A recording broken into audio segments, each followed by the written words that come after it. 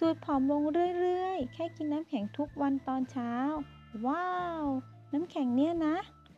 น้ำแข็งคือทางลัดใหม่ล่าสุดสู่การลดไขมันที่ทำให้คุณผอมลง โดยไม่ต้องใช้ความพยายามอะไรเลย แถมยังชื่นใจอีกต่างหากค่ะ ผลวิจัยล่าสุดของนักวิทยาศาสตร์ ซึ่งศึกษาเรื่องการลดน้ำหนักเปิดเผยว่า คุณสามารถลดรอบเอวได้ด้วยเทคนิคง่ายๆค่ะ เพราะการกินของเย็นๆ อย่างน้ำแข็ง จะทำให้ร่างกายต้องใช้พลังงานในการเพิ่มระดับอุณหภูมิแกนกลาง คุณจึงลดน้ำหนักได้ โดยไม่ต้องใช้ความพยายามสักนิด และเราก็มีน้ำแข็งในรูปแบบที่สร้างสรรค์ดังต่อไปนี้ให้คุณลองพิสูจน์ค่ะ น้ำแข็งรสแตงโม หลังจากเข้ายิม ให้คุณลองเคี้ยวน้ำแตงโมแช่แข็ง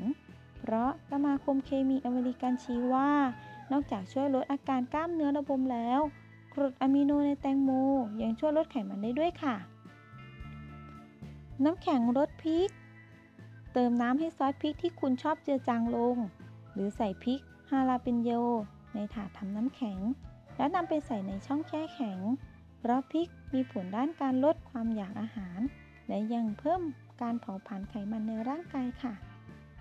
น้ำแข็งรสกาแฟ การปล่อยให้เอสเปรสโซ่ในถ้วยเย็นลง แล้วนำไปใส่ในช่องแช่แข็ง เพื่อทำเป็นน้ำแข็งก้อน คือวิธีง่ายๆค่ะ ที่จะช่วยกระตุ้นกลไกการเผาผลาญไขมันของร่างกายในตอนเช้า โดยคุณจะนำมาเคี้ยวเล่น หรือใส่ในแก้วนมเย็นๆสัก 2 ก้อนก็ได้ค่ะ น้ำแข็งรสสะระแหน่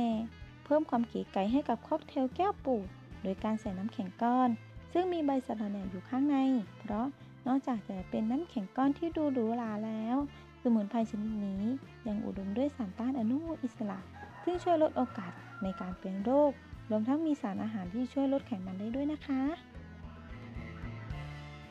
แต่ทั้งนี้การลดน้ำหนักให้ได้ผลขึ้นอยู่กับหลายปัจจัย ไม่ว่าจะเป็นการออกกำลังกายอย่างสม่ำเสมอ รวมถึงการรับประทานอาหารให้ครบห้าหมู่ เชื่อได้ว่าอีกไม่นาน คุณจะพร้อมและมีหุ่นสวยสมใจแล้วค่ะ